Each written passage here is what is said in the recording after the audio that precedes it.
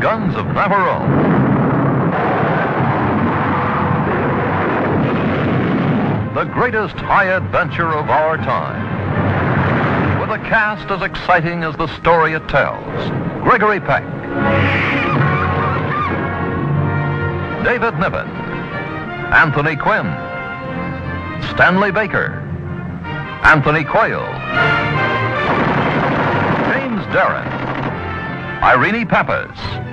Gia Scala. Alistair MacLean's best-selling novel, Live to the Hilt on the Islands of the Aegean Sea.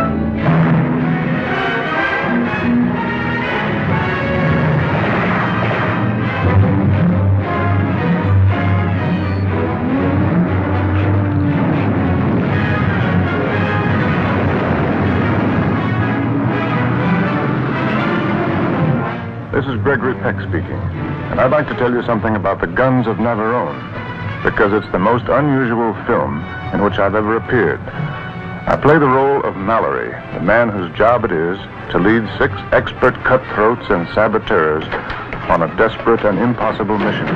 Watch out! What makes it even more desperate and impossible is that some of us hate each other even more than we do the enemy. That's a pretty good partner you've got there yourself. He's going to kill me when the war is over. You think that you've been getting away with it all this time, standing by. Well, son, your bystanding days are over.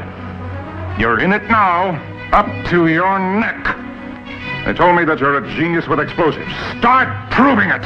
You got me in the mood to use this thing. And by God, if you don't think of something, I'll use it on you.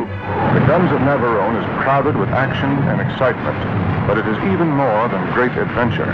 Over and above its tremendous thrill, this is a story of human beings, each with his intense personal fears, his deep personal conflicts, each with his moments of triumph and tenderness.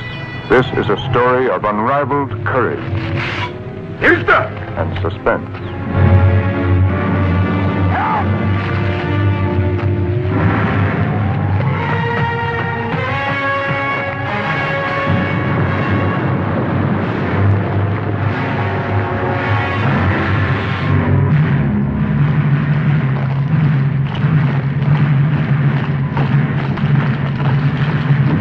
Give up quietly, gentlemen. Unless you want a great many innocent people killed as well as yourselves. Everybody stay exactly where you are. The party's over. Somebody stepped on the cake. Which means that there is a traitor in this room. The Guns of Navarone, I promise you, is probably the most exciting film you will ever see.